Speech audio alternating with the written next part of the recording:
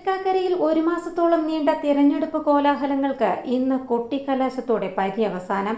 ആവേശം അലതല്ലുന്ന കൊട്ടിക്കലാശത്തിനാണ് മുന്നണികൾ തയ്യാറെടുപ്പ് നടത്തിയിട്ടുള്ളത്. പ്രധാന നേതാക്കളെല്ലാവരും കൊട്ടിക്കലാശത്തിന്റെ ഭാഗമാകും. സ്ഥാനാർത്ഥികളുടെ പരസ്യപ്രചാരണം ഇന്ന് വൈകിട്ട് ആറു മണിയോടെ അവസാനിക്കും.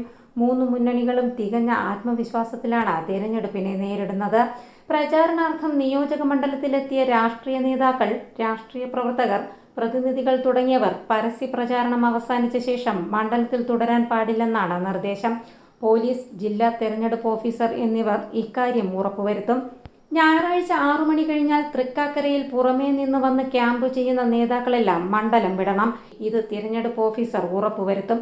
ആരെങ്കിലും തങ്ങുന്നുണ്ടോ എന്ന് പോലീസ് പരിശോധിക്കും. രാഷ്ട്രീയ പ്രവർത്തകർ തങ്ങുന്നില്ലെന്ന് ഉറപ്പാക്കാൻ ഹോട്ടലുകളിൽ താമസിക്കുന്നവരുടെ വിവരങ്ങൾ ശേഖരിക്കും. മണ്ഡലങ്ങളിലേക്ക് വരുന്ന വാഹനങ്ങൾ പോലീസ് പരിശോധിക്കും.